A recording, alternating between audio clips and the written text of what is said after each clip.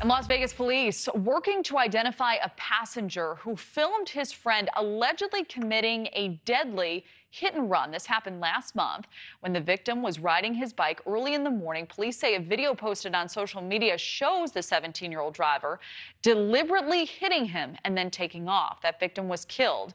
The driver was arrested later that day, but police still don't know who the passenger was.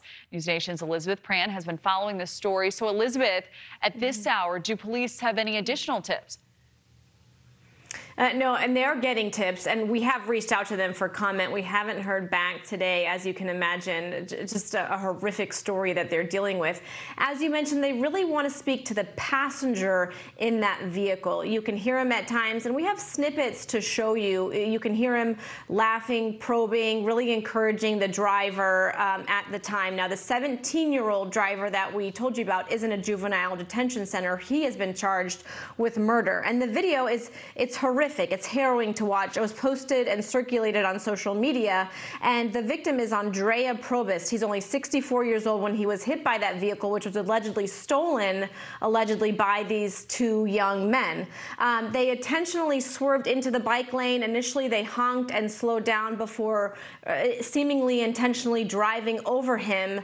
You can see a piece of the video. They show him on the ground, and then you can hear the engine revving as they drive away quickly, and they're laughing at the time.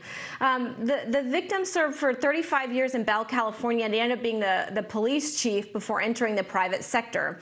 His daughter told the media that she drove to the scene because shortly after the incident, which happened on August 14th, right around 6 a.m., she got an alert on her phone that his Apple iWatch said that maybe he had been involved in a fall.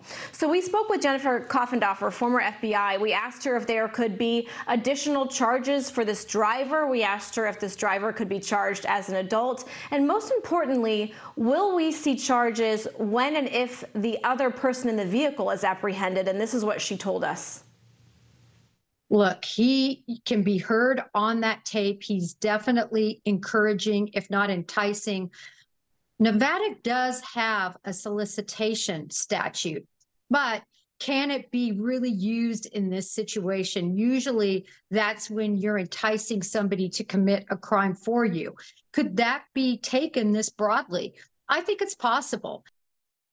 You know, we went on to ask her, Kelly, we are seeing an uptick in these instances where people post crimes on social media. And yes, it's an advantage because you have the evidence right there, but it's also a point for them to brag. So it's actually quite disheartening. As I mentioned, we reached out to the Las Vegas uh, Police Department for a comment, but I will mention that we're starting to see this video circulate more online. In fact, just yesterday, we saw the owner of, of formerly Twitter X post this video. It's getting more and more attention. Really hard to watch, but we're really starting to see this trend, Kelly, where some of these crimes are not only posted online, but then they're circulated for also the family and the, and, and the victims to see. So it's quite challenging. Yeah, an especially horrifying aspect of the story.